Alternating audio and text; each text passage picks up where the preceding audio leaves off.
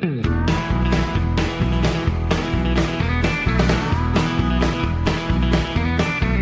While I was sitting in a roadhouse on Highway 41, you were wiping off some ketchup on a table that was done. I knew you didn't see me. I was in a corner booth. Of course, you weren't my waitress, mine were missing her front tooth. So I flagged you down for coffee, but I couldn't say a thing. But I'm in love with you, baby, and I don't even know your name. I'm in love with you, baby. I don't even know your name.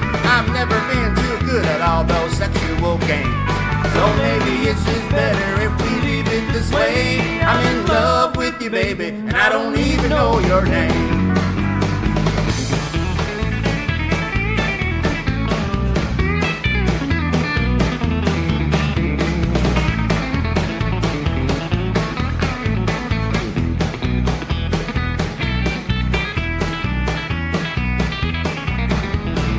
Ordered straight tequila, a little courage and a shot. And I asked you for a date, and then I asked to tie the knot.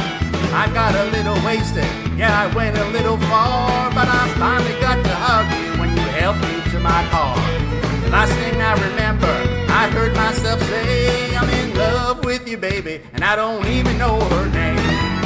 Yeah, I'm in love with you, baby. I don't even know your name. I've never been too good at all those sexual. So maybe it's just better if we leave it this way. I'm in love with you, baby, and I don't even know your name.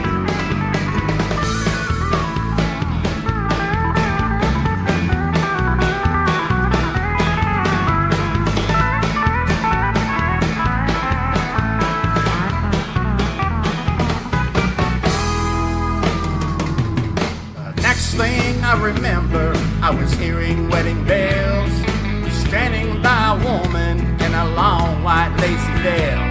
I raised the veil, she smiled at me without her left front tooth, and I said, Where the hell am I in this? Who the hell are you? She said I was your waitress, and our last name's now the same, cause I'm married to you, baby, and I don't even know your name. Yeah, I'm married to a waitress. I don't even know her name.